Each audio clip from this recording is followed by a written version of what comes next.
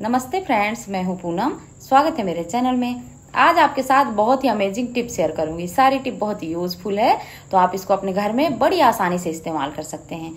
तो बिना देर करे हुए आज की टिप स्टार्ट करते हैं। और आज का वीडियो बहुत खास है। ये स्पेशली साफ़ सफ़ाई से जुड़ा हुआ है। अभी दीपावली आ रही है, हम सब अपने घर में साफ़ सफ़ाई कर रहे हैं, जिसमें बहुत ज़्यादा टाइम जाता है, बहुत ज़्यादा पैसे खर्च होते हैं।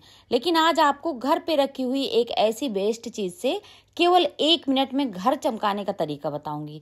तो आप वीडियो को लास्ट तक ज़रूर देखें और आप देश दुनिया के किस कोने से इस वीडियो को देख रहे हैं, अपने शहर या गाँव का नाम ज़रूर मेंशन करें, जिससे कि मैं आपको थैंक यू बोल सकूँ। और आज का थैंक यू जाता है जुबैर अहमद जी को, कुवैत से, जनार्दन पांडे जी को, प्रयागराज से, जगदीश कुशवाहा जी को, ललितपुर से और हेमेंद्र दवे जी को, गुजरात देवभूमि द्वारिका से। आप सबको फिर से एक बार बहुत बहुत धन्यवाद कहूँगी और आज की अमेजिंग सी टिप स्टार्ट करूँगी। और आज की खास बात यह है कि इस टिप को आप सब अपने घर में इस्तेमाल कर सकते हैं बड़ी आसानी से।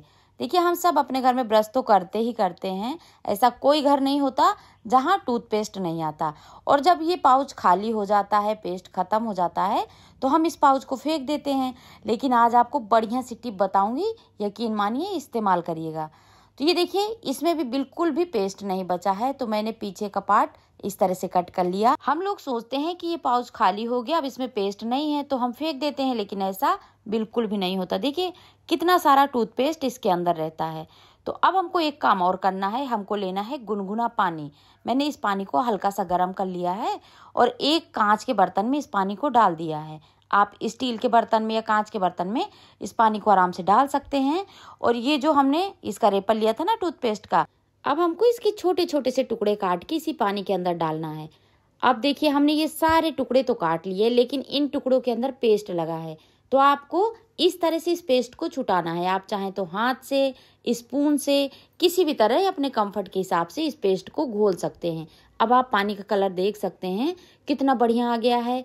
और इस रेपर में जितना भी पेस्ट लगा था ना, सारा टूथपेस्ट इस पानी में घुल गया है। अब हमको इस तरह से इसके ये जो कटे हुए पीस है ना, निकाल देने हैं। ये देखिए, इनमें बिल्कुल भी टूथपेस्ट नहीं लगा है। सारा टूथपेस्ट इस पानी में आ गया। देखिए कितने क्लीन हो गए हैं। है ना? एकदम कमाल की टिप। अब हमको लेना है एक स्प्रे बॉटल हाँ अगर आप सोच रहे हैं कि खाली इतनी सी ही टिप है तो ऐसा बिल्कुल भी नहीं है। वीडियो को लास्ट तक देखेंगे, तभी आप घर की साफ़ सफ़ाई अच्छे से कर पाएँगे। तो अब हमको इस बाउल में थोड़ा सा और पानी डालना है और अच्छे से खंगाल के इस बोतल के अंदर डाल देना है। तो जो मैंने बोतल में पानी डाला ना, अभी आधा ग्लास है। तो हमको इसमें एक ग्लास पानी और ऐड करना है। ये देखिए, मैंने एक ग्लास पानी लिया और इसी लिक्विड के साथ ऐड कर दिया। ये देखिए परफेक्ट लेकिन अब हमको इसमें एक चीज़ और ऐड करनी है जो हमारी साफ़ सफ़ाई में चार गुना ज़्यादा मदद करेगी। और वो कौन सी चीज़ है? वो है हार्पिक। एक हार्पिक हमेशा आप अपने किचन में रखा करें।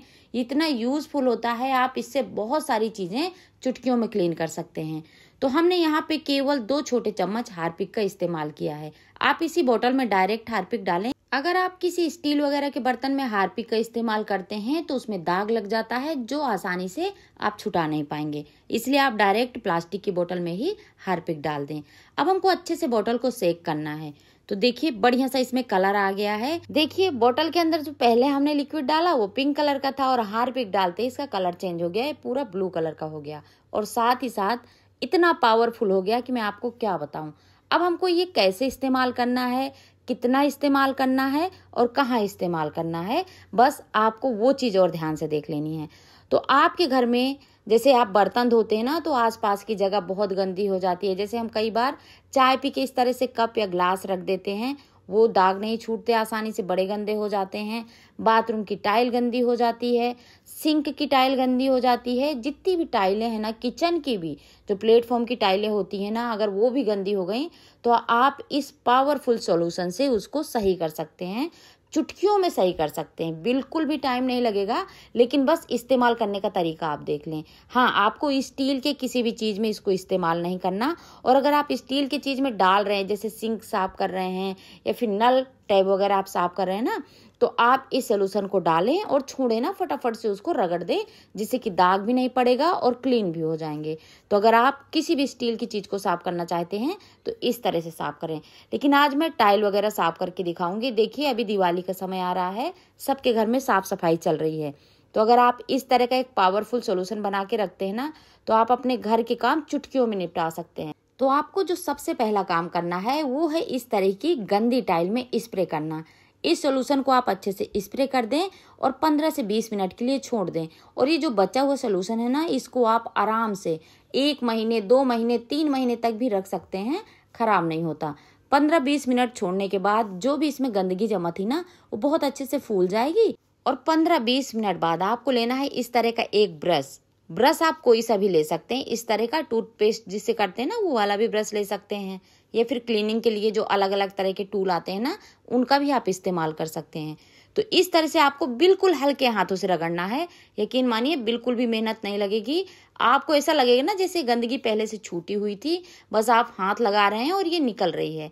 तो बस आपको हल्के हाथों से इस तरह से रगड़ देना है और बस पानी से क्लीन कर लेना है। आप देखेंगे कि जिस भी जगह आपने इस सोल्यूशन को डाला होगा, जिस जगह भी आपने क्लीन किया होगा ना तो रिज़ल्ट देख के आप चौंक जाएँगे क्योंकि बहुत ही कम मेहनत में और एकदम फ्री के खर्चे में, कोई इसमें खर्चा नहीं था, आप ये चीज़ें फेंकने वाले ही थे, उससे आपने अपने घर की क्लीनिंग कर ली। रिज़ल्ट आपके सामने है और कितना बेहतरीन रिज़ल्ट है। तो उम्मीद करती हूँ कि आज की इस टिप को आपने बहुत अच्छे से समझा होगा और अपने घर में आप ज़रूर इस्तेमाल करेंगे। तो आज की वीडियो को यहीं एंड करूँगी। आपसे फिर मिलूँगी एक न्यू रेसिपी और बहुत सारी किचन टिप्स के साथ। तब तक टेक केयर एंड बाय